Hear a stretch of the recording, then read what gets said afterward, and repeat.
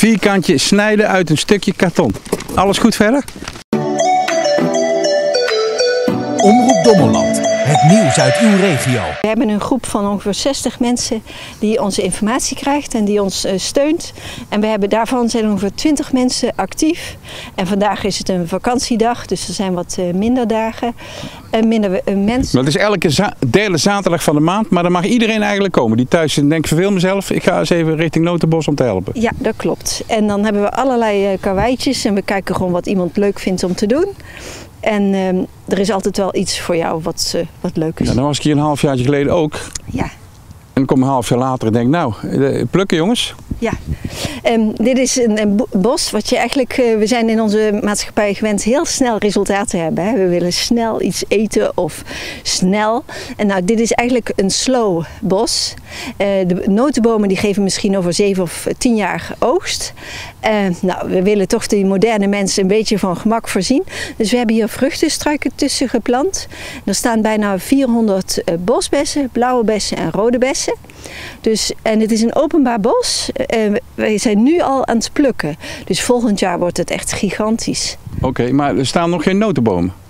En er staan heel veel, er staan ook uh, notenbomen en uh, er staan heel veel hazelaars. En die hazelaars die hebben nu ook al uh, noten. Dat hadden we niet verwacht. Oké. Okay. Elke derde zaterdag van de maand bent u hier? Nou, dit is de tweede keer voor mij. En bevalt het? Dus, ja, het is, wel, het is wel zweten, maar het is wel... ja, het is nu helemaal zweten. Ja, ja dus... En waarom bent u hier? Um, ik vind dat wel een leuk uh, initiatief. Dat, uh, we zullen toch een transitie van landbouw moeten hebben. En dit is één van de dingen die mogelijk uh, zijn. Dit is een pekanoot. Een pekanoot in wording, hè, want het is nog een klein struikje. Pekanootje?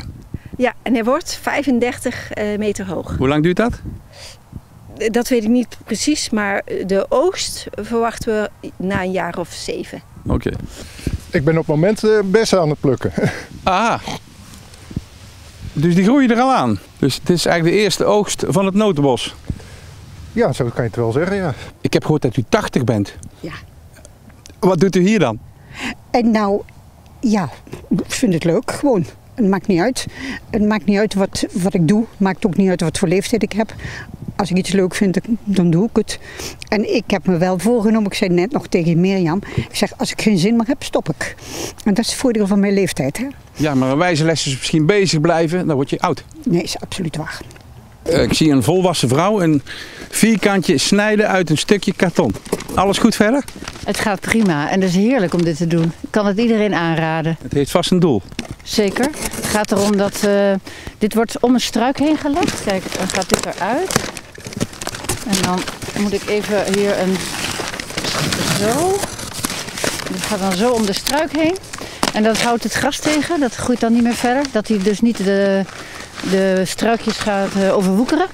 Voor wormen is het ook prettig. Uh, die komen dan ook... Uh... En voor eventueel onkruid? Uh, ja, ja, ja ik, ik vind dat onkruid niet bestaat. Maar Oké, okay, waarom niet? In dit geval is het gras dan wel even omkruid om de planten heen. Ja, ik denk alles heeft zijn doel. Hè. Als, het, uh, als het groeit, dan uh, die plant is er niet voor niks, denk ik vaak. Maar goed, ja, wij, wij vinden, mensen vinden natuurlijk heel veel onkruid. Maar... Oké, okay, nou snijzen. Dankjewel. Waar zijn die voor? Ja, dat wordt een bankstel. Aha. Dus we zijn hier een beetje, kijk je ziet hier een cirkel. Ja. En dit, dit hier wordt ook niet geplant. Een graancirkel of? Uh, ja, bijna. Een grascirkel. En dit komt dus een open plek waar er dus gezeten kan worden. Want ja, na dat harde werken moet je het ook genieten. Ja, ontspannen. worden gewoon pallet, een stapeltje pallets en dan doordat je ze verbindt krijg je een lange bank. Simpeler kan het niet. En het wordt een uh, bank van populierenhout, wat van deze streek is. En dan hard populierenhout. Dus dat is toch wel, um, ja, dan krijgen we hier een gezellig zitje. Dit is een amandelboom. En waarom die hier staat, uiteraard vanwege de noten. Maar er zit eigenlijk nog een verhaal achter. Um, vroeger dachten we dat hier geen amandelbomen zouden groeien. Maar door de klimaat... Want? Ja, door de klimaatopwarming is het hier dusdanig veel warm geworden. Dat 100 jaar geleden schilderde Van Gogh we weten allemaal het Verhoogd Nationaal Park, de prachtige bloesem in Arl. Nou, dat is hier 1200 eh, kilometer vandaan. En nou staat hij gewoon hier ontzettend goed te groeien. Dus enerzijds ben ik er heel blij mee. En anderzijds zit er ook iets achter van... Ja, want ik hoor nou meer aan Bemelman zeggen van... ik ben blij, een klein beetje blij met de klimaatverandering. nou, knipt hij maar eruit, want daar kan ik hem niks mee. en hier kun je banjeren.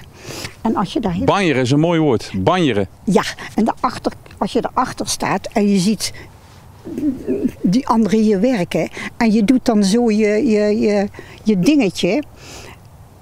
Ja, dat is leuk. Ik vind het leuk. Ga zo door. Ik vind het leuk. Minimaal tot uw honderdste? Nee. ik hoef helemaal niet zo oud te worden. Nou, zien jullie deze lekkere bessen? Iedere derde zaterdag als beloning kun je dit keer vruchtenstruiken plukken. En dit is heerlijk om thuis te laten zien wat we hier allemaal doen. Dus de derde zaterdag van iedere maand zijn we actief vanaf een uur of negen. Eh, klusjes kun je doen wat je leuk vindt. Een beetje de struiken verzorgen. De een wil graag spitwerk doen, hooien, noem het maar op.